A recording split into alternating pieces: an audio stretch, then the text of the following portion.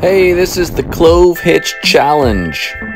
If you work in construction or you have a fun girlfriend, you probably have to tie knots from time to time.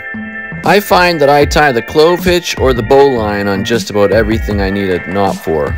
Or bowline if that's how you prefer to pronounce it. But never have I been able to tie a clove hitch in the way that these guys are doing it. This here is Adam Perry and he is a knot tying master. If you check out his Instagram page, it's just filled with him tying all kinds of crazy knots. Here in slow motion, you see exactly how he pulls this thing off. And believe it or not, here he is doing two clove hitches, one with each hand. If you know how to do this with two ropes, then film yourself doing it, send us the video to Construction Fun, and we'll post that video here on our Construction Fun page, and we'll send you a free Construction Fun t-shirt in return.